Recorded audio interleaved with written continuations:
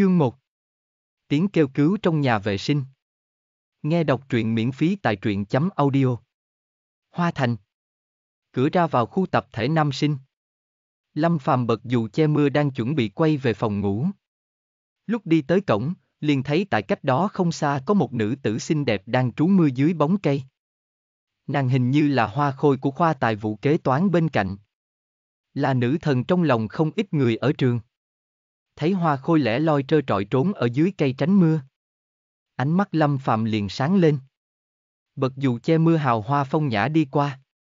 Bạn học, ngươi không mang dù sao? Nàng hoa khôi kia nhìn hắn một cái, có chút ghét bỏ nói.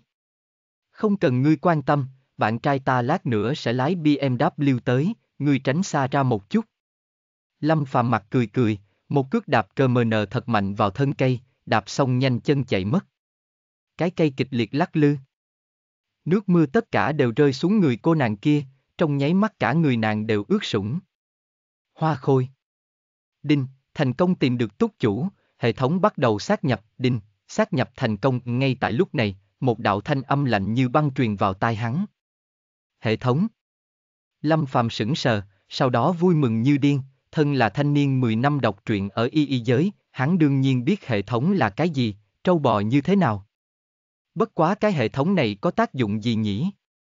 Thân là kẻ yêu thích đọc tiểu thuyết mạng, Lâm Phàm rất nhanh liền bình tĩnh lại, bắt đầu hỏi thăm về công dụng của hệ thống.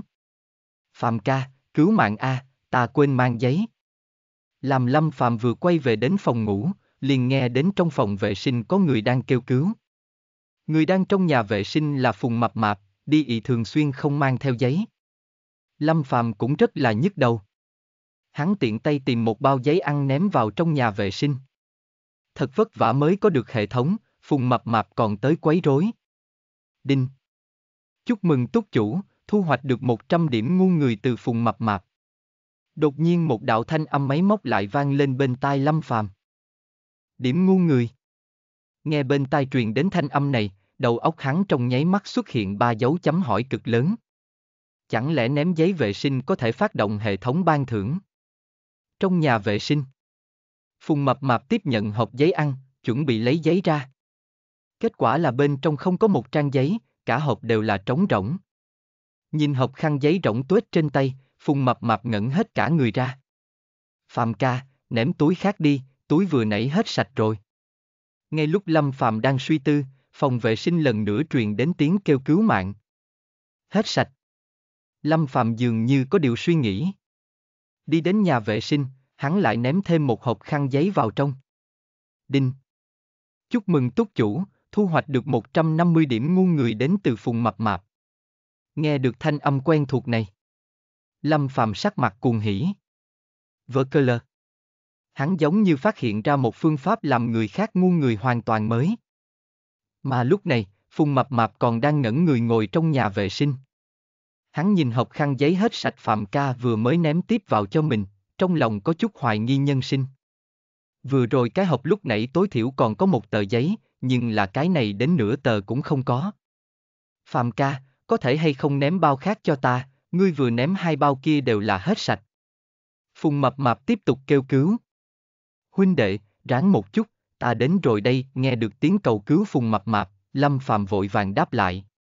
Liếc qua trong phòng một lượt, bên trong là bình nước, sách giáo khoa đại học, bút mực, bàn chải đánh răng các loại. Lâm Phàm một mạch trực tiếp ném hết vào. Đinh, chúc mừng túc chủ, thu hoạch được 100 điểm ngu người từ Phùng Mập Mạp.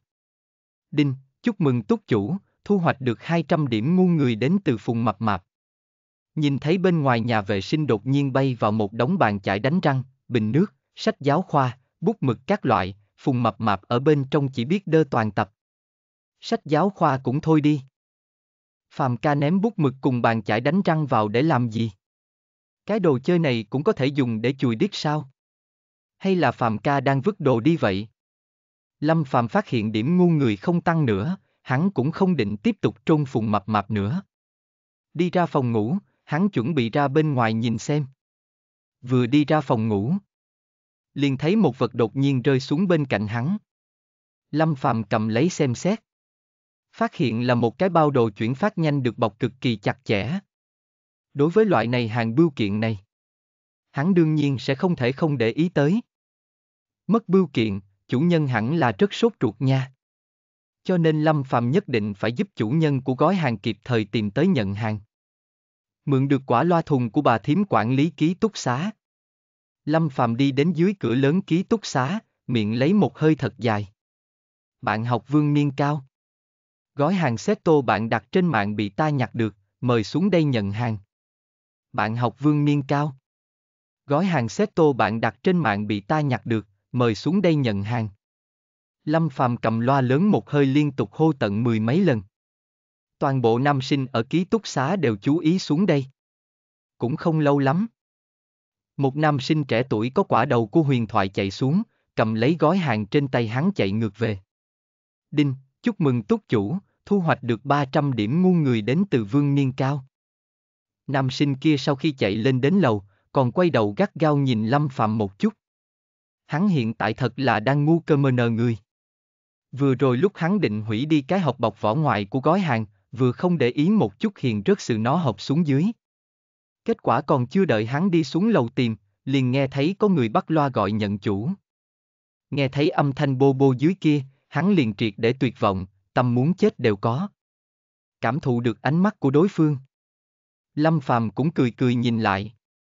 Hắn phản phất có thể cảm nhận được thanh niên đầu cua đang ngoái đầu cảm tạ hắn. May quá, tí thì mất. Tải áp nghe trọn bộ ở phần mô tả. Chương 2 Màn thầu lớn Nghe đọc truyện miễn phí tại truyện chấm audio. Đinh, chúc mừng túc chủ thu hoạch được 100 điểm ngu người đến từ vương niên cao.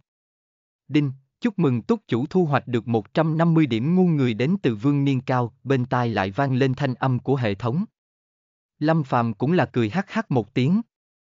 Quả nhiên thiện có thiện báo, mình giúp vương niên cao tìm được bưu kiện chuyển phát nhanh cuối cùng cũng được báo đáp. Nhàn nhã đi về phía sân trường, lúc qua sân bóng rổ liền thấy có 5-6 người đang đánh bóng rổ. Đột nhiên có tên lùn đứng phát dậy. Hắn chỉ vào Lâm Phàm nói. Tên cao cao kia, tới bồi nhóm chúng ta đánh bóng rổ đi, nhóm chúng ta nơi này vừa vặn thiếu một chân. Lâm Phạm lắc đầu. Không, chơi bời gì, nhà bao việc. Người lùn đầy vẻ khinh bỉ nói. dáng dấp cao như vậy không lẽ không biết đánh bóng rổ? Thật sự là phế vật. Lâm Phạm trả lời. Vậy ngươi có biết bán bánh nướng không? Người lùn nghe xong mặt đơ đơ, cả người ngẩn ra, không hiểu gì cả. Đánh bóng rổ cùng bán bánh nướng có quan hệ gì? Đinh, chúc mừng túc chủ thu hoạch được 100 điểm ngu người đến từ Vương Thiên. Nghe được bên tai truyền đến tiếng báo điểm ngu người, Lâm Phàm sắc mặt vui thích nhẹ nhàng lướt đi. Mà tên lùn kia đột nhiên nghĩ đến cái gì, sắc mặt chợt biến đổi. Hắn vừa rồi còn trào phúng Lâm Phạm dáng dấp cao như vậy mà không biết đánh bóng rổ. Mà đối phương phản pháo ngược lại, trào phúng hắn là Võ Đại Lang, Võ Đại Lang bán bánh nướng. Võ Đại Lang là ông chồng vừa lùn vừa xấu vừa ít của dâm phụ Phan Kim Liên trong cuốn dâm thư nổi tiếng Kim Bình Mai, đợi đến khi hắn muốn tìm đối phương, liền phát hiện Lâm Phàm cũng sớm đã rời khỏi. Đi tới thao trường. Lâm Phàm đi ra cổng trường liền thấy một đám người cũng vây quanh ở một chỗ. Hắn đi qua xem xét. Liền thấy một con chó tét đi mười phần đáng yêu, sắc mặt tội nghiệp đang nằm trên mặt đất. Mà cạnh bên có không ít tiểu tỷ tỷ xinh đẹp đều đang cầm đồ ăn ngon đút cho nó. Chó tét đi hưởng thụ sự săn sóc của một đám tiểu tỷ tỷ, trên mặt tỏ ra vô cùng hài lòng. Mỗi khi Tét đi nhìn về phía những tên nam sinh đầu bòi như Lâm Phàm, nó thậm chí sẽ lộ ra một chút bộ dáng chế giễu. Mà khi nó nhìn về phía những tỷ tỷ xinh đẹp kia, Tét đi chó lại sẽ lộ ra một bộ dáng đau khổ đáng thương. dáng vẻ đó, đơn giản chính là làm người ta yêu thương xót xa. Các tiểu tỷ tỷ thấy vậy đều là đau lòng hỏng, mỗi người đều đem hết bao nhiêu đồ ăn thức uống ngon nghẻ đủ loại nhét vào trong mồm tét đi. Nhìn thoáng qua con chó tét đi. Lâm Phạm như có điều suy nghĩ. Hắn nhìn cách đó không xa có một cửa hàng màn thầu. Hắn đột nhiên đại hỉ. Lâm Phạm vẫn luôn cảm giác bản thân là một công dân tốt, chuyên làm việc thiện. Mà lại hắn vẫn tự đánh giá cho mình 10 điểm trong khoản yêu thương động vật. Các tiểu tỷ tỷ cho nó ăn những cái kia chỉ có thể giải quyết cơn đói trước mắt, cũng không thể để cho chó tét đi no bụng được. Lâm Phàm chạy về phía cửa hàng màn thầu kia. Trực tiếp mua 50 cái màn thầu lại trở về. Gâu. Nhìn thấy Lâm Phàm cầm trong tay một túi lớn đồ ăn, Teddy mắt chó liền sáng lên. Cậu cậu ngoan, ăn đi. Đem 50 cái màn thầu trong bao tải to đổ hết, Lâm Phàm mặt đầy ý cười nhìn chó Teddy. Nhìn thấy thứ được đổ ra là 50 cái màn thầu, bánh bao không nhân, Teddy không khỏi đơ cứng cả người. Chúc mừng túc chủ thu hoạch được 300 điểm ngu người đến từ chó Teddy, nhìn thấy chó Teddy một bộ dáng sững sờ, Lâm Phàm cũng học theo động tác của những tiểu tỷ tỷ kia, đem màn thầu nhét mạnh vào mồm chó của Teddy. Ngoan, mở miệng nào, ca cho ngươi ăn no nê. Xem ngươi vừa đói vừa gầy kìa, ăn nhiều một chút, không đủ ta sẽ mua thêm cho. Lâm Phàm một mặt ôn hòa nói. Teddy nhìn vào một đống màn thầu còn lớn hơn đầu mình kia, cả người không khỏi một trận run lẩy bẩy. Tiểu ca ca này thật là tốt bụng, đặc biệt đi mua nhiều màn thầu như vậy tới. Tiểu cẩu cẩu mau ăn đi nha, màn thầu ngon lắm đó. Nhanh ăn đi, ăn rồi ngươi sẽ không đói bụng nữa. Nếu như không đủ ăn, ta cũng đi mua chút màn thầu trở về. Các tiểu tỷ tỷ bên cạnh đối với hành động vừa rồi của Lâm Phàm cũng là giơ ngón cái khen ngợi. Teddy nhìn 50 cái màn thầu to đùng trước mắt. Nó chỉ cảm thấy khóc không ra nước mắt. 50 cái bánh bao không nhân siêu cấp lớn này, vừa rồi các tiểu tỷ tỷ còn cho nó ăn đồ ăn vặt giờ cũng không bón cho nó nữa, mà là cùng nhau chờ nó ăn màn thầu. Nhìn bộ dáng đầy mong chờ của các tiểu tỷ tỷ xung quanh, nó cảm giác tự mình không muốn ăn cũng phải ăn. Teddy một mặt u oán nhìn Lâm Phàm. Quyết tâm cắn răng một cái, miệng lớn bắt đầu mở ra ăn màn thầu.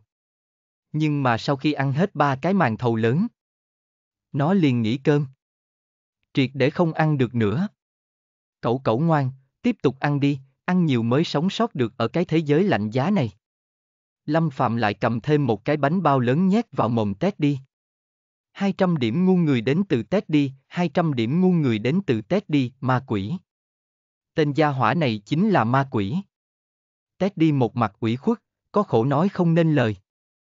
Tải áp nghe trọn bộ ở phần mô tả. Chương 3 Mua 10 con voi với ba con cá voi xanh. Nghe đọc truyện miễn phí tại truyện chấm audio. Kiếm một đống điểm ngu người từ chó Teddy đi xong. Lâm Phạm lúc này mới rời khỏi. Thấy ôn thần Lâm Phạm rốt cục cũng rời đi, chó tét đi ống yếu nằm rạp trên mặt đất. Ăn 10 cái màn thầu, nó thật không ăn được. Đúng lúc này điện thoại hắn đột nhiên chấn động một cái. Lâm Phạm cầm lấy xem xét. Phát hiện là một tin nhắn lừa đảo.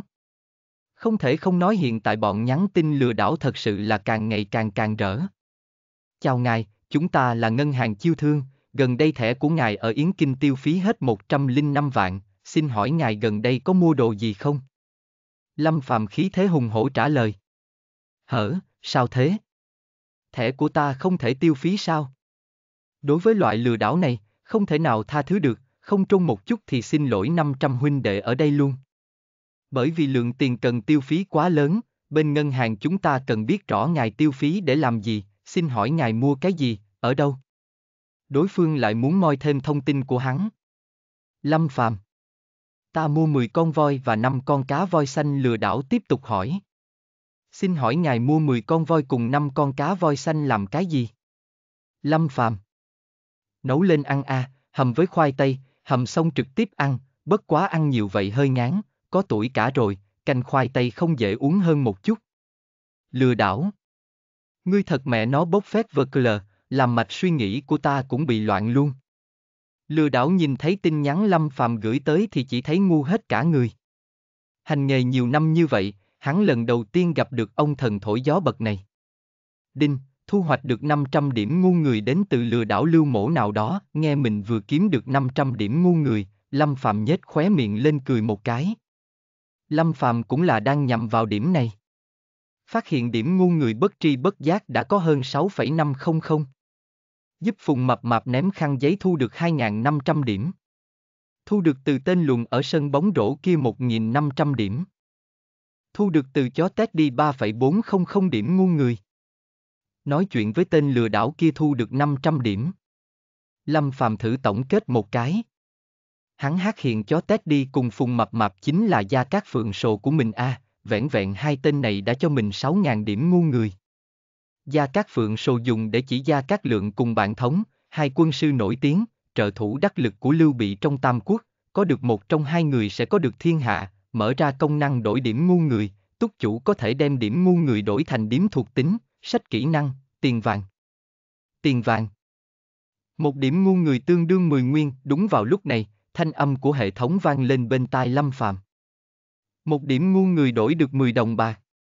Chẳng phải là với mấy tiếng ngắn ngủ vừa rồi, hắn đã kiếm lời 6 vạn rồi sao? Chật chật chật. Hắn chỉ cần ra ngoài cà khịa vài lần một ngày, chẳng phải là có thể đi đến nhân sinh đỉnh phong sao? Làm Lâm Phàm bước đi trên đường cái. Liền thấy tại ngã tư đường có một thân ảnh nằm trên mặt đất. Hắn xích lại gần xem xét. Mới phát hiện là một cái lão gia gia ngã trên mặt đất. Lão gia gia ngã trên mặt đất bộ dáng cực kỳ suy yếu, đáng thương. Ở trên đường, tất cả những người đi ngang qua đều cố tránh lão gia gia, từ xa xa lách qua. Cho dù là có một ít tiểu thanh niên có ý nghĩ muốn lại đỡ, cũng đều là đi đến một nửa rồi lại rút lui. Lão gia gia trên mặt đất rất là thê thảm. Lâm Phàm Thân là học sinh ưu tú trong suốt 9 năm giáo dục bắt buộc xuống, tự nhiên sẽ không khoanh tay đứng nhìn. Người khác không dám đỡ. Hắn. Lâm Phàm có dũng khí. Chỉ cần thấy người gặp nạn liền vươn tay giúp đỡ, thế giới sẽ tốt đẹp hơn biết bao nhiêu. Khi thấy Lâm Phàm hướng về phía mình, lão Gia Gia đang nằm dưới đất đột nhiên sáng mắt lên. Đợi sắp cả buổi sáng, hắn cuối cùng cũng nhìn thấy một con gà mới. Nếu mà không vớ được con gà nào thì hắn coi như đã nằm không công cả buổi sáng. Lão đầu cũng là lấy tay ôm lấy đùi mình, trên mặt lộ ra biểu cảm mười phần đau đớn. Ngồi trên mặt đất tiếng kêu càng ngày càng lớn. Lâm Phàm trực tiếp sải bước đi lên, khi hắn sắp đến trước mặt lão Gia Gia thì lại đột nhiên trượt chân một cái. Chân phải hung hăng dẫm mạnh lên lưng lão Gia Gia. Sau đó, lão Gia Gia mãnh liệt phát ra một tiếng kêu gào như giết heo. Sau đó lão Gia Gia liền bị Lâm Phàm một cước đạp bay xạ tận 2 mét, trực tiếp đụng vào một cái cột điện gần đó. Đến từ Tống Đại Hải 800 điểm ngu người, đến từ Tống Đại Hải 1000 điểm ngu người, Tống Đại Hải. Tống Đại Hải cảm thụ được toàn thân trên dưới đều như bị xé rách, thiếu chút nữa phun ra một ngụm tiên huyết. Vừa rồi một cước kia, kém chút nữa đạm hắn đạp chết. Hắn vừa rồi cảm nhận được một cổ sát cơ nồng đậm. Lão đầu tự che lấy bụng mình, kêu thảm liên tục. Lúc này, hắn không phải là giả vờ, mà là bụng đau rát giống như đang bị hỏa thiêu. Hắn nằm trên mặt đất u oán nhìn Lâm Phàm cách đó không xa một chút. Hắn quyết định. Đối với một đạp vừa rồi của thanh niên này, hắn phải ăn và cả một xe tiền mới được. Gia hỏa này nếu như không bồi thường cho hắn đầy đủ phí tổn thất tinh thần, hắn liền ăn lầm ỉ lì ở đây, sống chết không đứng dậy nữa. Mà Lâm Phàm cũng là vừa mới kịp ổn định thân thể. Nhìn thấy lão gia tử trên mặt đất cách đó không xa hắn cũng cảm thấy sững sờ. Vội vàng tiến lên, muốn đỡ lão gia gia vừa bị mình đạp bay dậy. Kết quả mới vừa đi tới bên cạnh lão. Đột nhiên chân phải dẫm lên một cái vỏ chuối. Lâm Phạm lại trượt chân thêm lần nữa, lại là một cước đá vào người lão gia gia. Vãi lòng. Đau. Lại một tiếng hét thảm vang lên. Lão gia gia thét lên như heo bị chọc tiết. Tải áp nghe trọn bộ ở phần mô tả. Chương 4 Ta đang đứng dưới một đám mây xanh. Nghe đọc truyện miễn phí tại truyện chấm audio. Lão Gia Gia lần nữa phát ra tiếng gào thét như heo bị chọc tiết. Đến từ Tống Đại Hải một nghìn điểm ngu người, đến từ Tống Đại Hải một nghìn điểm ngu người. Lão Đại Gia bị một cước đạp đến bay xa 3 mét, lăn lộn trên mặt đất một trận kêu thảm. Ánh mắt nhìn về phía Lâm Phàm vừa ngẩn người vừa mang theo một chút sợ hãi. địch gia hỏa này chẳng lẽ không phải muốn tới đỡ hắn lên sao? Làm sao đạp hắn một cước lại một cước thế? Lão đại gia cũng bó tay rồi. Hắn vừa rồi đều đã làm xong chuẩn bị diễn kịch ăn vạ, kết quả nên đón hắn lại là hai cước hung hăng. Mà Lâm Phàm đang cảm thấy vô cùng cuồng hỉ. Điểm ngu người tăng thật là nhanh a. Dưới sự hỗ trợ của lão gia tử, đều sắp phá mốc một vạn rồi. Lão gia gia, không có sao chứ, đường hơi trơn a. Lâm Phàm ổn định thân hình xong, đem miếng vỏ chuối bên cạnh đạp bay. Nhìn lão gia gia đang trên mặt đất kêu thảm không ngừng, hắn lại tiến lên mấy bước, chuẩn bị nâng đỡ lão gia gia dậy. Lão đại gia đang nằm trên mặt đất nhìn thấy Lâm Phàm lại muốn tới đỡ mình. Trên trán mồ hôi lạnh chảy ròng ròng. Nhìn thấy Lâm Phàm tiến lên, hắn liền lắc mình một cái. Lão đại gia bật lộn người lên, hai tay chống đất, vặn vẹo vòng eo, hai chân chuyển động nghịch chiều kim đồng hồ giống như trong chống tre, tư thế như chuẩn bị thi triển tuyệt kỹ lăng ba vi bộ thất truyền trong giang hồ đã lâu. Sau đó lão đại gia về một cái biến mất ngay trước mặt Lâm Phàm. Lâm Phàm nhìn thấy một màn này, cũng là sững sờ. Lão đại gia này quả nhiên là giả bộ. Nhìn thấy một chiếc máy làm giàu điểm ngu người biến mất ngay trước mặt mình, Lâm Phàm có chút tiếc hận. Nhìn thoáng qua số điểm ngu người hơn một vạn của mình. Lâm Phàm cũng không chuẩn bị giữ lại. Kiếm lời bao nhiêu liền tiêu bấy nhiêu. Sách kỹ năng cấp thấp nhất đều là 10 vạn điểm. Lâm Phàm trực tiếp bỏ qua nó. Điểm thuộc tính hối đoái là 10001 Lâm Phàm trực tiếp cho lực lượng của mình tăng thêm 10. Nam nhân, liền phải có lực lượng lớn. Không lớn sao được. Lâm Phàm mở ra thuộc tính trước mắt. Giao diện thuộc tính. Tính danh. Lâm Phạm tuổi tác. 20 giới tính. Nam lực lượng. 19, giá trị trung bình 10, thể lực. 9, giá trị trung bình 10, tinh thần. 10, giá trị trung bình 10, may mắn. 0, giá trị trung bình 10, nhanh nhẹn. 9, giá trị trung bình 10, thiên phú. Không xem hệ tình trạng thuộc tính hiện tại của bản thân. Lâm Phạm bắt đầu có chút đâm chiêu suy nghĩ. Thuộc tính khác còn chưa tính, tỷ lệ may mắn của hắn cũng quá thấp đi. Khó trách hắn trước kia chơi mang vương cùng kiếm thánh chẳng được lần bạo kích chó nào cả. Người ta chơi mang vương đao đao bạo kích, hắn một ván chơi từ đầu chí cuối, mang vương cũng không dương đao được một lần. Thật là đã đen lại còn nhỏ nhem. Tản bộ xung quanh khu phụ cận một vòng. Cũng không có gặp được người nào. Lâm Phàm chuẩn bị đi thiên nhất cảnh khu. Người ở đâu nhiều, nơi đó lại càng dễ thu hoạch được điểm ngu người. Lâm Phàm đứng ở trạm xe buýt đợi một chút. Đợi 10 phút, cũng không có xe buýt tới. Hắn chuẩn bị đổi một loại phương thức, chuẩn bị trực tiếp gọi đi đi đi cho nhanh. Đi đi là ứng dụng gọi xe trực tuyến giống như Grab, lấy điện thoại trong túi ra, ấn mở app đi đi. Đem định vị điểm tới chọn là thiên nhất cảnh khu. Rất nhanh, liền có lái xe nhận đơn. Sau đó lái xe điện thoại tới. Xin chào, là ngài gọi xe sao? Xin hỏi ngài hiện tại đang ở chỗ nào của Bắc Hồ Khu? Ta đang tới bên đó. Ta ở. Lâm Phàm cũng là gãi đầu một cái, nhìn một chút hoàn cảnh xung quanh, lại nhìn một chút bầu trời, đột nhiên linh cơ khẽ động.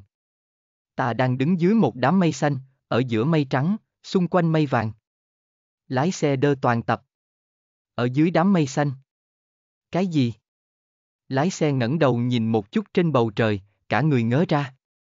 Đến từ lái xe Thái Côn Côn 300 điểm ngu người. Nghe được bên tai truyền đến âm thanh của hệ thống. Lâm Phàm khẽ nhếch miệng một phát. Hắn cũng không có dự kiến trôn kiểu vậy, vậy mà cái này có thể giúp hắn gia tăng điểm ngu người. Nghĩ đến chém gió vài câu cũng được điểm.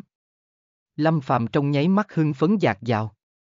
Đúng, đúng, ta chính là đang ở dưới một đám mây xanh. Cạnh bên còn có không ít mây trắng, bao quanh là những áng mây màu vàng. Lâm Phạm nghiêm túc nói. Đến từ lái xe Thái Côn Côn 600 điểm ngu người, đến từ lái xe Thái Côn Côn 800 điểm ngu người, tuyệt đối không nghĩ tới. Cuối cùng lái xe Thái Côn Côn dưới sự chỉ dẫn của Lâm Phàm vậy mà vẫn thành công tìm được Lâm Phàm. Lái xe Thái Côn Côn ngẩng đầu nhìn trời. Trên bầu trời thật là có một đám mây xanh và mây trắng, nhưng mà mây vàng lại trả thấy đâu. Tải áp nghe trọn bộ ở phần mô tả. Chương 5 Tạ ơn cha. Nghe đọc truyện miễn phí tại truyện chấm audio. Thiên nhất cảnh khu. Đây là cảnh khu nổi danh nhất Hoa Thành. Bên trong ngựa xe như nước, người người như nêm. Vừa đi không có mấy phút. Lâm Phạm liền thấy phía trước bu đầy người. Cạnh bên thỉnh thoảng còn có người đang khuân đồ tới. Lâm Phạm đi lên xem xét. Liền thấy một người trung niên nam tử mặc đồng phục an ninh của cảnh khu bởi vì thời tiết quá nóng nên té xỉu ở trên mặt đất. Mà người bên cạnh cũng đều đang luống cuốn tay chân gọi xe cứu thương. Còn có ở cư dân xung quanh chạy tới hỗ trợ. Có người cầm cây quạt gió tới, cũng có người cầm dù che mưa che nắng, cũng có cầm cả bình nước suối đến.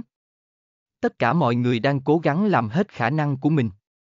Đây mới là chân thiện mỹ của con người chứ. thấy cảnh này, Lâm Phàm cũng là tán thưởng một tiếng. Nhưng vào lúc này, Lâm Phàm nhìn thấy một lão đại gia bảy tám chục tuổi nhiệt tình khiêng một cái quạt điện cao gần bằng người từng bước một dời tới.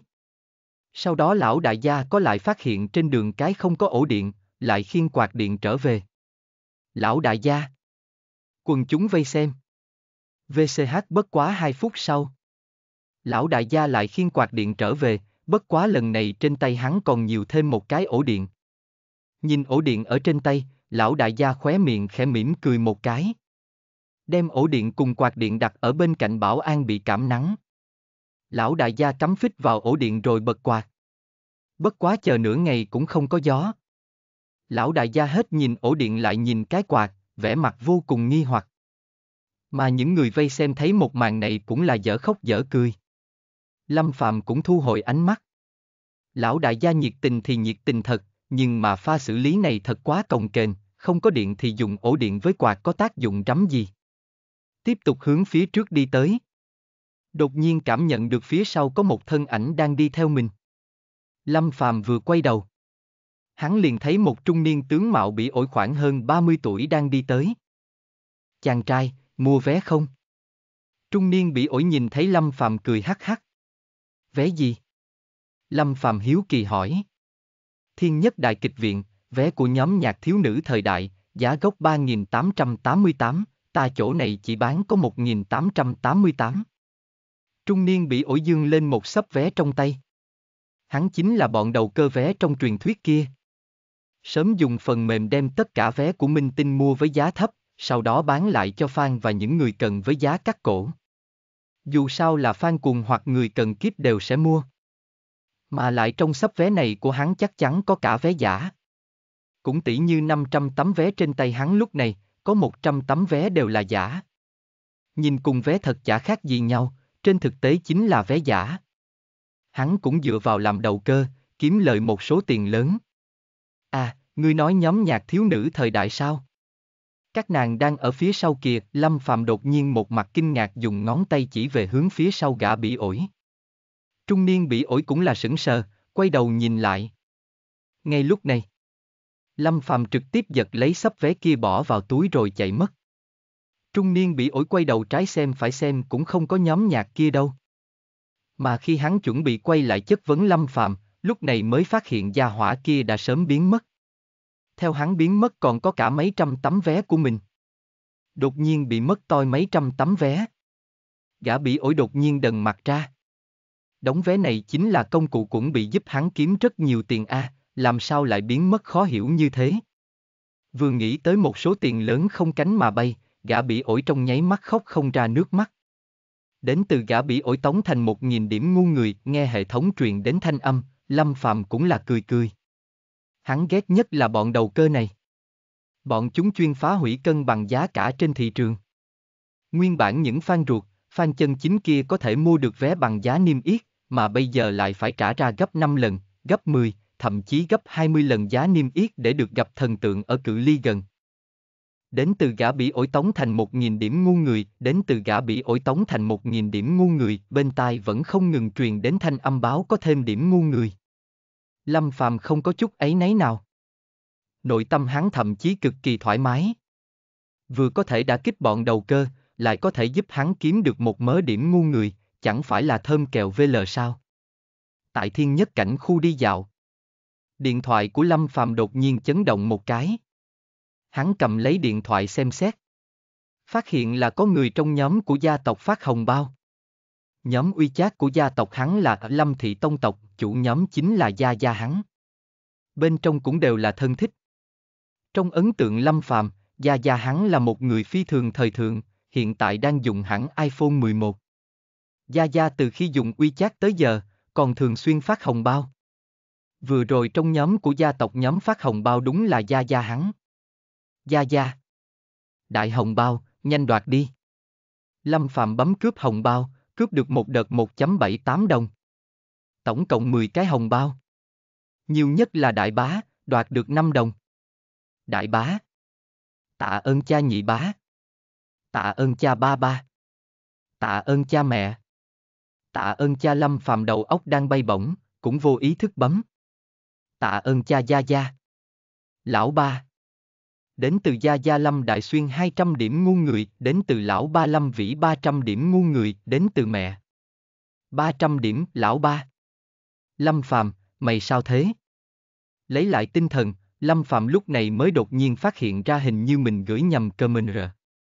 Hắn vừa rồi vô ý thức trả lời một câu tạ ơn cha, hẳn là phải tạ ơn gia gia mới đúng.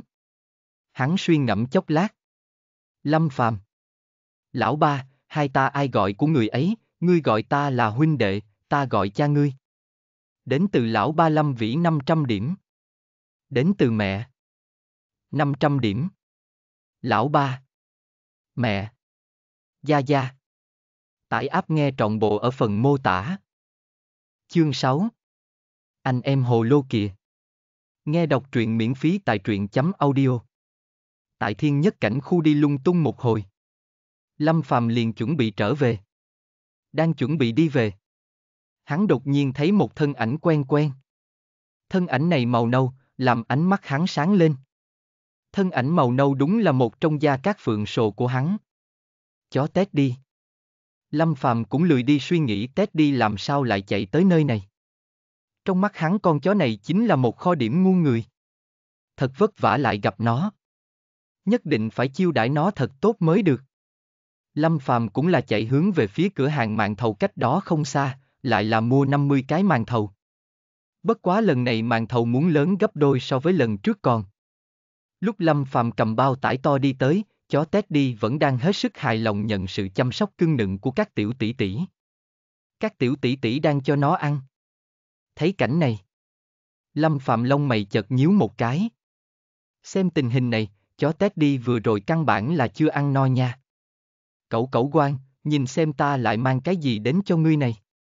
Lâm Phạm cực kỳ lưu loát đem 50 cái màn thầu cực lớn trong bao ném xuống trước mặt Teddy. Gâu. Lúc nhìn thấy Lâm Phàm một sát na kia, chó Teddy đi dựng đứng cả lông tơ lên. Nó vừa rồi vì tránh né thằng ôn thần này, liên tục chạy 10 cây số. Thật vất vả mới chạy tới nơi này, lúc này vừa mới buông lỏng một chút, kết quả đờ mờ nó lại gặp hắn. Đinh, đến từ chó tét đi 500 điểm ngu người, nhất là khi nhìn thấy 50 cái màn thầu cực lớn kia nó không khỏi rùng mình một cái. Đến từ chó tét đi 1.000 điểm ngu người, thấy điểm ngu người đang cấp tốc tăng trưởng, Lâm Phàm cười sắp sái cả quai hàm chó tét đi quả nhiên là thần tài của hắn. Vẻn vẹn trong chớp mắt đã cho hắn tận 1.500 điểm. Con chó này Lâm Phàm phải vặt sạch lông mới được. Cậu cậu ngoan, ăn nhiều một chút, nhất định phải ăn hết tất cả nha. Ta vừa rồi mua hơi ít, ngươi cũng chưa ăn no.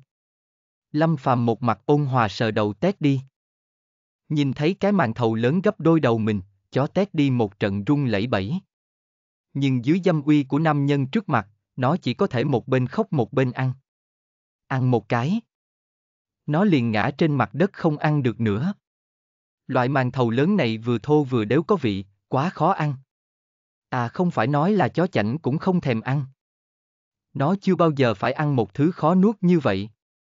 Đợi đến lúc gia hỏa này chim lượng, nó nhất định phải chạy đến một nơi xa hơn, càng xa càng tốt, cả đời này của nó đều không muốn ăn màn thầu nữa. Các mỹ nữ, các ngươi nhìn nó xem, bị bỏ đói đến mức gầy thế này rồi. Các ngươi đút cho nó nhiều màn thầu một chút, như vậy nó mới không phải chịu đói. Hướng về phía các tiểu tỷ tỷ bên cạnh dặn dò vài câu xong, Lâm Phạm liền rời khỏi. Các tiểu tỷ tỷ bên cạnh nhìn thấy trên mặt đất đủ loại màn thầu cực lớn, cũng đều là nhặt lên bắt đầu bón cho chó tét đi. Ngoan, ăn đi, vừa rồi đại ca ca kia nói đúng, ngươi nên ăn nhiều một chút. Màn thầu rất giàu dinh dưỡng, ngươi gầy như vậy, phải nhiều ăn chút. Ai da, phải ăn hết đống màn thầu này nha. Đừng phụ tâm ý của vị tiểu ca ca kia. Nhóm chúng ta sẽ giám sát ngươi. Chó tét đi. Nhìn thấy Lâm Phàm thật vất vả rời đi, cho là mình lại có thể được yên ổn hưởng thụ cảm giác ôn hương nhuyễn ngọc, chó tét đi lại một lần nữa vẽ mặt đần thối. Đến từ chó tét đi 1.000 điểm ngu người, đến từ chó tét đi 1.000 điểm ngu người, đến từ chó tét đi 1.000 điểm ngu người, bên tai không ngừng truyền đến tin vui. Sách. Con chó tét đi đó thật sự là ngọa long phượng sồ của mình a. Lâm Phạm cười hắc hắc. Nhìn đồng hồ. Phát hiện sắp tới giờ cơm tối. Lâm Phạm đang chuẩn bị ngồi xe buýt trở về. trạm xe buýt thiên nhất, lúc này người chờ xe cực kỳ đông. Thấy nhiều người như vậy, Lâm Phàm cũng chẳng muốn đón xe trở về nữa. Bất quá ngay lúc này, cách đó không xa một cổ xe buýt đang chậm rãi đi tới. Toàn bộ mọi người đang đứng ở trạm xe buýt đều đưa mắt nhìn lại, một bộ dáng trực chờ nhạo lên đầu tiên. Nếu như dựa theo kịch bản bình thường, đợi lát nữa hẳn là sẽ phát sinh một cuộc đại chiến để chiếm chỗ. Lâm Phàm đột nhiên nảy ra ý hay. Chỉ vào bầu trời quát to một tiếng. Vải loạn, anh em hồ lô đang đánh nhau với quái thú kia. Khi hắn vừa dứt lời cũng là vừa đúng lúc xe buýt sắp vào trạm. Lâm Phàm mãnh liệt hướng về phía trước, lấy tốc độ nhanh nhất lên xe buýt. Mà tuyệt đại đa số mọi người lúc này lại đem lực chú ý nhìn về phía bầu trời. Anh em hồ lô. Quái thú. Đâu? Đâu? Đánh nhau đâu? Trên bầu trời có cái trắm A.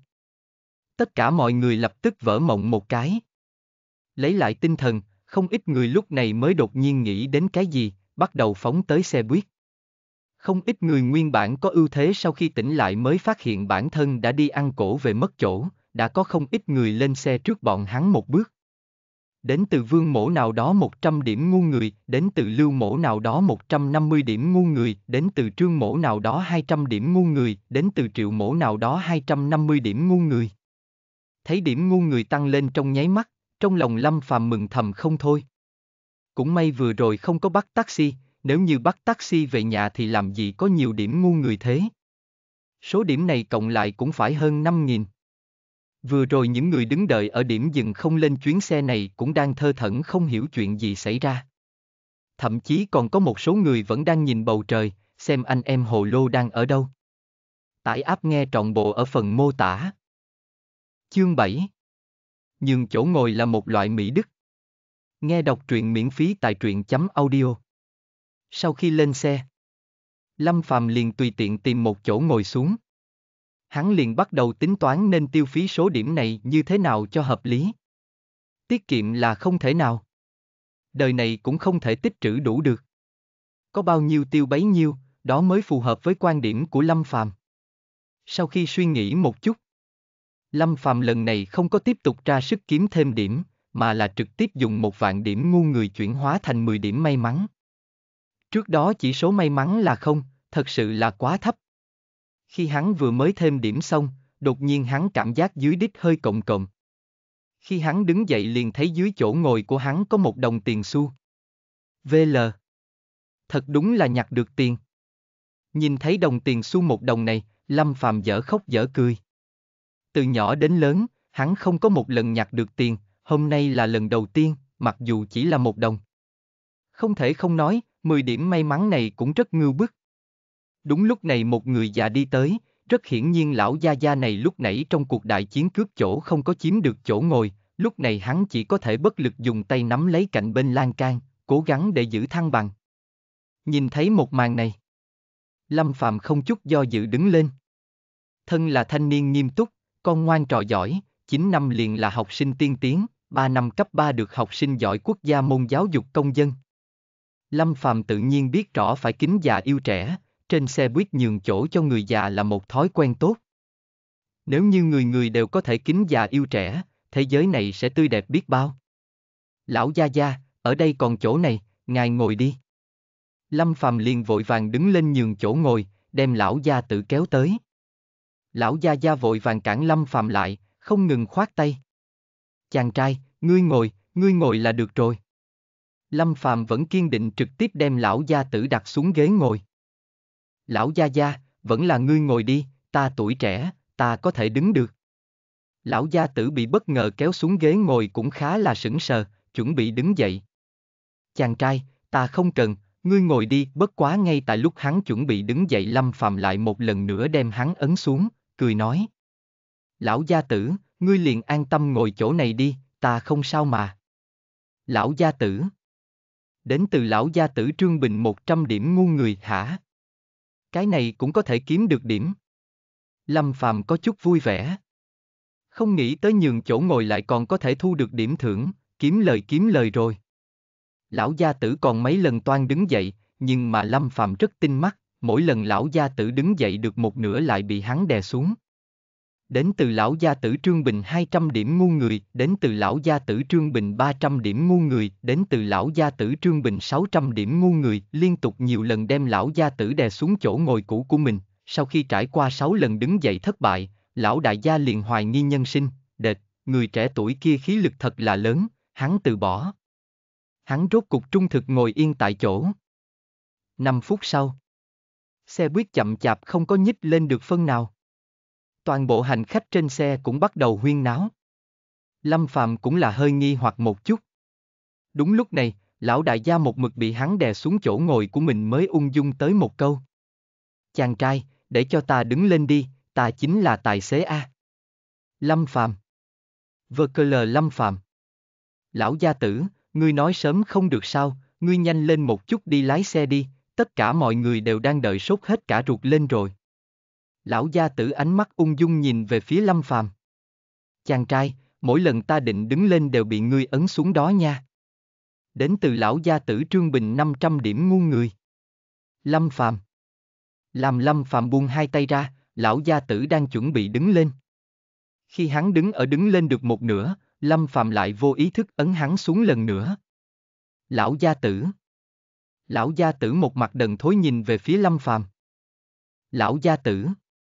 Chuyện gì vậy? Hôm nay định không cho ta lên lái nữa à? Lâm Phàm cười ngây ngô một tiếng, không có ý tứ xoa xoa đôi bàn tay. Lão đại gia ngươi lên đi, lần này ta không ngăn ngươi nữa. Làm lão gia tử thật vất vả mới thoát đi được, lên tới ghế tài xế vẫn không quên quay đầu nhìn Lâm Phàm vài cái, hắn lái xe đã hơn 20 năm mà chưa gặp phải trường hợp nào khó đỡ như thế này, đương nhiên cái này chỉ là một khúc nhạc đệm. Bất quá Lâm Phàm ngược lại rất là vui thích. Vừa rồi hảo tâm nhường chỗ ngồi liền để cho hắn kiếm được tận 1.700 điểm. Cha cha. Quả nhiên nhường chỗ ngồi là một loại Mỹ Đức nha. Cách Đại học Khoa học Kỹ thuật Hoa Thành còn 10 trạm bớt nữa. Đại học Khoa học Kỹ thuật Hoa Thành chính là trường Lâm phạm đang theo học. Lâm phạm cũng là hiếp mắt một hồi. Khi hắn mở to mắt ra, liền thấy một tiểu nữ hài đang nhìn chầm chầm hắn. Khi hắn mở to mắt lần hai, Tiểu nữ hài kia cũng là do dự một hồi rồi sáng lại. Tiểu nữ hài hỏi. Tiểu ca ca, xin hỏi khi nào thì xe tới trạm đông vậy? Lâm Phạm vô ý thức trả lời. Lúc nào xe dừng thì tới? Nữ hài hỏi lại. Khi nào thì xe dừng a? Lâm Phạm cười nói. Khi nào tới thì nó dừng. Tải áp nghe trọn bộ ở phần mô tả. Chương 8 VL, chai spray này có độc. Nghe đọc truyện miễn phí tại truyện chấm audio. Được Lâm Phàm trả lời xong. Tiểu nữ hài một mặt đần thối. Đến từ tiểu nữ hài Trần Thủy Thủy 300 điểm ngu người, đương nhiên vừa rồi hắn chỉ là nói đùa cho vui thôi. Sau khi kiếm được ít điểm từ tiểu nữ hài, Lâm Phàm cũng giải thích rõ về trạm đông cho nàng để nàng biết lối xuống xe. Sau đó một đường vô sự. Xe buýt rất nhanh liền đến Đại học Khoa học Kỹ thuật. Lâm Phàm cũng là xuống xe. Trên đường quay về phòng ngủ, hắn vô thức liếc qua chỗ cổng ra vào khu ký túc một chút. Bất quá liếc mãi cũng không thấy con chó tét đi đâu, điều này khiến hắn có hơi thất vọng. Khi đi ngang qua sân bóng rổ, hắn cũng nhìn quanh quanh, nhưng cũng không ai chơi bóng, hắn lại càng thất vọng. Lúc đi ngang qua quầy bán quà vặt trong trường học, hắn ngừng bước chân. Bôn ba một ngày hắn vừa vặn có chút khát nước. Bà chủ, cho một chai Sprite. Lâm Phạm móc túi lấy ra một tờ 10 đồng nhăn nhó. Bà chủ đưa tay nhận lấy tờ 10 đồng kia, đang chuẩn bị tìm 7 đồng tiền lẻ để trả hắn. Liền thấy Lâm Phạm đang dùng điện thoại quét mã thanh toán điện tử của cửa hàng, trả 3 đồng tiền nước. Đến từ bà chủ 200 điểm ngu người thấy Lâm Phạm làm như vậy. Bà chủ cũng là sững sờ tại chỗ. Đến bây giờ bà chủ cũng không nghĩ ra vì cái gì gia hỏa này đã đưa nàng 10 đồng tiền mặt, lại còn quét mã uy chát trả 3 đồng tiền nước. Đây không phải vẽ trắng thêm chân sao? Lâm Phàm cười nói. Lão bản, ta vừa quét mã rồi, đưa ta một đồng tiền giấy 20 đồng đi. Bà chủ đem 7 đồng tiền lẻ thu về, vẻ mặt có chút ngơ ngác đem 20 đồng tiền giấy giao cho Lâm Phàm. Mơ hồ nàng giống như đột nhiên cảm giác có gì đó sai sai. Lâm Phàm tay trái cầm 20 đồng tiền mặt, tay phải cầm chai Sprite rời khỏi. Rời đi xong. Bà chủ đột đần người ra, nàng mãnh liệt nhớ tới vừa rồi mình đã tính sai cơ mình rồi. Vừa rồi tên gia hỏa kia mua một chai Sprite, hắn đưa mình một đồng 10 đồng, lại quét thêm 3 đồng ở WeChat, thế mà nàng lại trả hắn 20 đồng lần.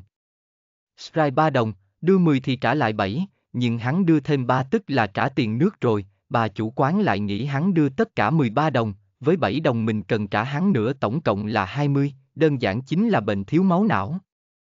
Đến từ bà chủ 800 điểm ngu người, đến từ bà chủ 1.000 điểm ngu người, đến từ bà chủ 1.000 điểm ngu người, Lâm Phạm đang đi trên đường thì trong nháy mắt nhận được mấy ngàn điểm từ bà chủ. Lâm Phạm cũng thử tính lại, lúc này mới phát hiện hình như bà chủ đưa nhầm cho mình thêm 10 đồng cơ mình rồi. Hắn cũng không phải là loại người thích hố người chiếm tiện nghi, cửa hàng nhỏ trong trường học kinh doanh cũng không dễ dàng. Lâm Phạm đem 10 đồng thừa kia chuyển khoản qua WeChat trả lại cho bà chủ.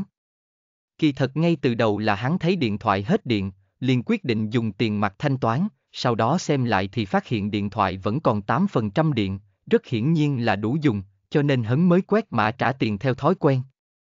Khi hắn cầm chai Sprite trở lại phòng ngủ, liền thấy trong nhà vệ sinh không ngừng vang lên tiếng hô cứu mạng. Phạm ca, ngươi cuối cùng đã về rồi. Mau cứu ta, mau cứu ta, ta cần giấy. Nghe tới phòng ngủ bên cạnh có tiếng mở cửa, trong nhà vệ sinh phùng mập mạp vội vàng kêu trên nói. Lâm Phàm Cái tên này tại sao lại đi ngồi nhà cầu rồi? Trang cảnh này phản phất giống như đã từng xảy ra a. À? Phùng mập mạp kêu trên nói. Phàm ca, ta tiêu chảy sau đó lại tiến vào nhà vệ sinh mới phát hiện mình quên mang giấy, ta ngồi trong này sắp được một tiếng đồng hồ rồi, hai chân ta sắp không chịu được nữa. Ngay tại lúc hắn tuyệt vọng nhất, Lâm Phạm ném một cây bút bi màu đen vào mập mạp, Phạm ca ta chỉ có thể giúp ngươi tới đây thôi. Cố nhìn mãi mới đợi đến lúc Phạm ca trở về, vốn cho rằng Phạm ca có thể cứu hắn ra khỏi biển lửa, Phùng mập mạp nhìn cây bút bi đen vừa được ném vào, trong nháy mắt liền hoài nghi nhân sinh. Đến từ Phùng mập mạp 800 điểm ngu người, đến từ Phùng mập mạp 1.000 điểm ngu người, đến từ Phùng mập mạp 1.000 điểm ngu người, cũng chính tại trong một sát na này, Lâm Phạm liền nhận được hẳn gần 3.000 điểm từ Phùng Mập Mạp. Nghe quỹ điểm cứ tăng lên không ngớt, miệng hắn đều sắp không khép nổi nữa rồi. Quả nhiên Phùng Mập Mạp mới là gia cát phượng sồ của hắn a. Chỉ cần có hắn ở đây. Lo gì thiếu điểm ngu người. Phạm ca, ngươi đừng trông ta nữa. Ngươi ném khăn mặt vào cũng được, chứ ngươi ném cái bút bi đen này vào, chẳng lẽ lại muốn ta dùng bút bi chùi đít sao, Phạm ca, ngươi cũng quá ma quỷ đi. Phùng mập mạp một mặt u oán, thanh âm từ trong nhà vệ sinh truyền ra. Lâm Phàm cười nói. Mập mạp, ta tin ngươi, bố mẹ tin ngươi, gia đình tin ngươi, ngươi nhất định có thể làm được. Phùng mập mạp. Lộn bàn đần thối. Đến từ phùng mập mạp 800 điểm ngu người, đến từ phùng mập mạp 1.000 điểm. Cuối cùng Lâm Phàm vặt một đống lông của con cừu non phùng mập mạp xong mới giải cứu hắn khỏi nhà vệ sinh. Sau khi ra được bên ngoài, Tên gia hỏa kia trực tiếp chạy đến trên giường nằm xuống không nhúc nhích. Phạm ca, đợi mãi ngươi mới về, nếu ngươi còn không về, huynh đệ ngươi sợ lại muốn teo tờ rim trong đó rồi. Nếu là lại ngồi sống nửa tiếng đồng hồ nữa, đôi chân ta cũng sắp phế đi rồi. Phùng mập mạp nhìn Lâm Phạm một chút, lòng vẫn còn sợ hãi nói. Lâm Phạm dở khóc dở cười nói. Còn không phải ngươi là loại chuyên quên mang giấy sao, đi thi quên mang giấy đã đành, đi ỉa cũng không mang nữa. Phùng mập mạp tức giận nói. "Địch, ta trước đó rõ ràng nhớ là đã yểm một bao khăn giấy 400 cái trong nhà vệ sinh rồi, cho nên ta mới hết sức yên tâm vào đó ngồi, quỷ mới biết tại sao đến lúc ta cần chùi đít thì túi giấy kia lại không cánh mà bay. Đến, làm một ngụm nước cho xuôi đít nào. Thấy Phùng mập mạp một mặt u oán, Lâm Phàm cầm lấy chai Sprite đổ đầy vào cốc giấy đưa cho hắn. Phùng mập mạp nhìn thấy nước ngọt trong tay Lâm Phàm, ánh mắt cũng sáng lên. Khi hắn đưa tay nhận lấy cốc từ tay Lâm Phạm, hơi bất cẩn rung tay làm nước Sprite bị đổ ra không ít. Hắn nhìn bọt khí có hai sủi lên cuồn cuộn, sắc mặt xanh mét. Một tay vứt ngay cốc nước vào trong thùng rác, một mặt hoảng sợ nhìn về phía Lâm Phàm. VL, bên trong nước này có độc. Tải áp nghe trọn bộ ở phần mô tả. Chương 9 Đường Mũi Lâm Nguyệt Nguyệt Nghe đọc truyện miễn phí tại truyện chấm audio nằm ở trên giường. Lâm Phàm cũng bắt đầu sửa sang suy nghĩ. Từ sau khi thu được hệ thống này, mỗi lần kiếm được điểm, hắn đều ghi tạc trong lòng. Hắn phát hiện điểm ngu người này kiếm được bao nhiêu là phụ thuộc vào sức chịu đựng của tâm lý mỗi người, người có sức chịu đựng tâm lý thấp, thì điểm ngu người thu được lại càng cao. Nói đến nhiều điểm nhất phải kể tới phùng mập mạp cùng con chó tét đi kia, cặp đôi gia các phượng sồ, khai quốc công thần của hắn. Mà lại hắn phát hiện trên người mỗi một người số điểm ngu người kiếm được cũng là có hạn. Chính xác mà nói thì số điểm ngu người của mỗi người trong một thời gian nhất định là giá trị là hữu hạn. Lâm Phàm bắt đầu có điểm suy tư. Nhưng vào lúc này, điện thoại hắn đột nhiên chấn động một cái. Ca, tối nay tới nhà ta ăn cơm đi. Hôm nay là sinh nhật của lão muội ngươi đó.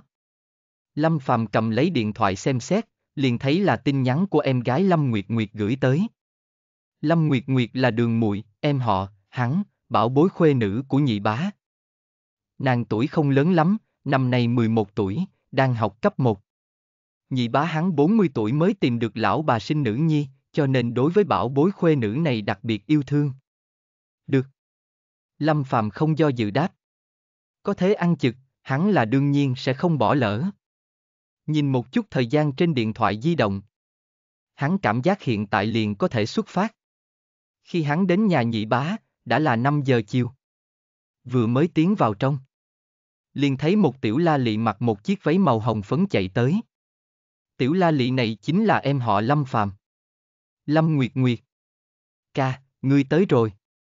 Nhìn thấy Lâm Phàm xuất hiện, tiểu la lị lập tức liền nhào tới. Tiểu nha đầu, sinh nhật vui vẻ. Lâm Phàm cũng là sờ sờ đầu tiểu la lị nói. Tiểu Phàm tới rồi, đợi lát nữa đồ ăn đưa lên, ngươi trước vào phòng Nguyệt Nguyệt phụ đạo nha đầu này làm bài tập đi, nha đầu này cả ngày chỉ biết chơi, không thiết tha học hành gì cả, học kỳ này thi giữa kỳ điểm thi toán trực tiếp xếp thứ ba từ dưới lên. Một phụ nữ hơn 40 tuổi thò đầu ra nói. Mẹ, hôm nay là sinh nhật của ta, có thể hay không đừng nhắc những thứ này. Tiểu La Lị có chút không vui nói. Không được. Hôm nay ca của ngươi thật vất vả mới đến một chuyến, nhất định phải để cho hắn hảo hảo phụ đạo ngươi một trận, ngươi xem lại xem điểm thi ngữ văn giữa kỳ lần này của ngươi còn chưa được điểm trung bình đó. Nói đến đây, bà thím kia có chút tiếc rèn sắt không thành thép nói. Ngươi nhìn xem hàng xóm xung quanh nhà ngươi đi, con nhà người ta thành tích giữa kỳ lúc nào cũng xếp thứ ba cả lớp. Lâm Nguyệt Nguyệt khuê phòng. Lúc này đường mùi đem cửa phòng đóng lại. Ca, giúp tiểu mùi đáng yêu của ngươi một chuyện thôi được không? Không đợi Lâm Phạm đồng ý, nàng liền đem một tờ bài thi lấy ra. Ca, đây là ta bài thi ngữ văn của ta, ngươi giúp ta ký cái tên thôi. Lâm Phạm cầm bài thi ngữ văn của nàng lên nhìn thoáng qua. Câu hỏi lớn thứ nhất và câu hỏi lớn thứ hai, miễn cưỡng đáp coi như là có thể. Nhưng khi hắn nhìn thấy câu trả lời câu hỏi thứ ba của đường mùi mình thì khóe miệng không khỏi giật giật một cái. 3. Ngôn ngữ giao tiếp A20 điểm, có một câu nói, có thể làm cho ba ba người bất kể mua gió, lập tức tới ngay là gì? Lâm Phàm nhìn đề bài một chút. Rất hiển nhiên lão sư ra đề như này là muốn học sinh viết một cái gì đó liên quan đến tình thân, chỉ cần viết về tình cảm cha mẹ đại loại như mẹ ống cha về ngay thì cũng có được một điểm số không tệ rồi. Nhưng mà khi hắn thấy câu trả lời của đường mùi, sắc mặt liền tối sầm lại. Đường mùi trả lời. Câu đầu tiên. Nhậu đê các huynh đệ. Câu thứ hai. Tất cả toàn là gái. Lâm Phàm nhìn về phía đường mùi bên cạnh, hỏi. Ngươi nói thử xem lúc ngươi trả lời câu này ngươi đang nghĩ gì vậy? Đường mùi hùng hồn trả lời. Mỗi lần lão ba nhận được tin nhắn nhậu đê các huynh đệ tất cả toàn là gái, cho dù bên ngoài trời mưa, sét đánh, hay nắng vỡ đầu hắn đều sẽ lập tức ra ngoài, ta đáp rõ ràng không có sai mà. Lâm Phàm không phản bác được, thậm chí cảm thấy đường mùi mình nói hình như cũng có chút đạo lý a. Hắn lại đưa mắt xuống dưới nhìn một chút. Phía dưới còn có câu hỏi nhỏ thứ hai. Hai, có một câu nói, có thể để cho mẹ ngươi mặc kệ gió mưa, lập tức tới ngay, đó là gì? Đường mùi trả lời. Câu đầu tiên. Chồng ngươi đang nhậu với người khác kìa. Câu thứ hai. Tất cả đều là nữ. Lâm Phàm sau khi xem xong, cũng là hít sâu một hơi. Liếc qua tiểu la lị bên cạnh một cái. Khó trách nha đầu này muốn để hắn ký tên. Còn lặng lẽ đóng cửa lại. Nội dung bài thi này nếu để cho nhị bá cùng nhị bá mẫu thấy được, sợ rằng nàng sẽ khó thoát được một kiếp, lúc đó hai vợ chồng kia sẽ xong kiếm hợp bích, bạo kích nát mông nàng mất. Tải áp nghe trọn bộ ở phần mô tả. Chương 10 Lâm Nguyệt Nguyệt muốn lật bàn. Nghe đọc truyện miễn phí tại truyện chấm audio. Trong khuê phòng của đường muội Ca, đừng nhìn a, mau giúp ta ký tên đi. Đường muội dắt lấy tay Lâm Phạm, khẽ lung lay. Không được. Ta phải đem bài thi này cộng với cách nghĩ của ngươi tất cả đều nói cho nhị bá mẫu, tiểu nha đoàn ngươi cứ chờ chết đi. Lâm Phạm khoát tay áo, một bộ dáng cực kỳ kiên định. Nhìn thấy Lâm Phạm muốn mách lẻo chuyện của mình, đường mùi đần người ra tại chỗ. Cái này hoàn toàn không giống với kế hoạch của nàng A. Trong kế hoạch của nàng, ca ca của mình Lâm Phạm không có khả năng cự tuyệt nàng, càng không khả năng sẽ mách lẻo nàng. Đến từ đường mũi Lâm Nguyệt Nguyệt 300 điểm ngu người cha cha. Thật kiếm được điểm nha. Nghe được thanh âm của hệ thống, khóe miệng Lâm Phạm khẽ nhếch lên một phát. Hắn vừa rồi kỳ thật cũng là cố ý nói ra lời kia, chính là muốn thử xem nói như vậy đường muội của mình có sinh ra được chút điểm nào hay không, không nghĩ tới thật đúng là thành công. Ca ca ca. Đừng a ca, không muốn nha. Đừng mách với mẹ ta, bằng không em gái ngươi sẽ chết rất thảm đó. Lâm Nguyệt Nguyệt một mặt ủy khuất nhìn ca ca Lâm Phạm, nàng chuẩn bị sử dụng đại chiêu khóc nhè năng nỉ của mình. Mùi a, ngươi yên tâm đi. Ca của ngươi, ta đối với những việc này làm sao có thể quân pháp bất vị thân, tố cáo ngươi với nhị bá mẫu được. Ngươi nói có phải hay không? Lâm Phàm cũng là cười cười nói. Còn không đợi đường mũi Lâm Nguyệt Nguyệt kịp thở vào một hơi, hắn lại bổ sung một câu. Ta không chỉ muốn nói với nhị bá mẫu mà còn muốn nói với cả nhị bá nữa, nói ngươi thi ngữ văn không đủ điểm trung bình, hơn nữa còn bôi nhọ nói xấu bọn hắn trong bài thi ngữ văn, nhà đầu, ngươi cứ chờ bị ăn đòn nát đít đi. Lâm Nguyệt Nguyệt Hất bàn nghe được lời của đường ca Lâm Phạm nói, Lâm Nguyệt Nguyệt trợn tròn mắt tại chỗ. Đến từ đường Mùi Lâm Nguyệt Nguyệt 300 điểm ngu người, đến từ đường Mùi Lâm Nguyệt Nguyệt 600 điểm ngu người, đến từ. Đúng một lần được tận hơn 2.000 điểm. Nhìn trong bản ghi chép thu được tận hơn 2.000 điểm của đường Mùi, Lâm Phạm ánh mắt đều sắp đỏ lên. Mùi mùi mình xem ra cũng là cấp bậc ngọa long phượng sồ A. Nếu là thời điểm bình thường, Lâm Phạm khẳng định sẽ đi dỗ dành lão muội nhà mình, nhưng lúc này hắn không thể làm việc theo cảm tính được. Đi, ta hiện tại muốn tìm nhị bá mẫu cùng nhị bá để báo cáo chuyện này. Lâm Phạm giả trang đứng dậy bước mấy bước. 600, 800, 1000 nhìn xem bên tai không ngừng truyền đến tiếng điểm số gia tăng, Lâm Phạm ánh mắt nhắm lại, cười đến sắp sái quai hàm. Biểu muội nhà mình tăng điểm thật là nhanh a, hơn nữa còn không có bình cảnh thì phải. Trước đó hắn vặt lông phùng mập mạp cùng chó tét đi, mỗi lần kiếm được 4-5 ngàn điểm đã là tới giới hạn. Mà đường mùi nhà mình hoàn toàn không có hạn mức cao nhất A. Vừa mới đây thôi mà điểm số đã tiếp cận 5.000. Nếu như không có hạn mức cao nhất, vậy hắn chẳng lẽ có thể tùy ý vặt lông co dê béo này sao? Lấy hiểu biết của hắn về đường mùi mà nói, muốn từ chỗ nàng kiếm ít điểm, quả thực là quá dễ dàng. Bất quá cứ khi dễ nàng như vậy, có phải rất thiếu đạo đức hay không? Ca, ngươi biến đi. Ngươi trước kia không phải như vậy, lãnh khốc tuyệt tình, lục thân không nhận, khó trách ngươi không có bạn gái. Lâm Nguyệt Nguyệt sụ mặt. Cái gì mà bạn gái? Ca của ngươi ta chẳng qua là lười tìm, không có ý nghĩa. Lâm Phàm cười nói. Rõ ràng là chính ngươi tìm không được, muốn lắm mà còn già mồm, ca, ngươi không cần kiếm cớ. Lâm Nguyệt Nguyệt đối với hắn, xì, một tiếng. Lâm Phàm lập tức ngây ngẩn cả người, cô nàng này lấy đâu ra dũng khí để mạnh miệng với mình vậy? Ca a, ngươi không cần kiếm cớ, nếu như ngươi kiếm cớ tự lừa gạt mình cũng vô dụng, độc thân cậu có gì mà mất mặt, ngoài đường đây a. Lâm Nguyệt Nguyệt cười trộm nhìn Lâm Phàm một chút. Lâm Phàm mặt trong nháy mắt tối sầm mặt. Ngay lúc này cửa phòng bỗng mở ra. Nhị bá mẫu cầm một đĩa hoa quả lớn, còn có một sấp lớn đề thi toán cùng ngữ văn đem tới.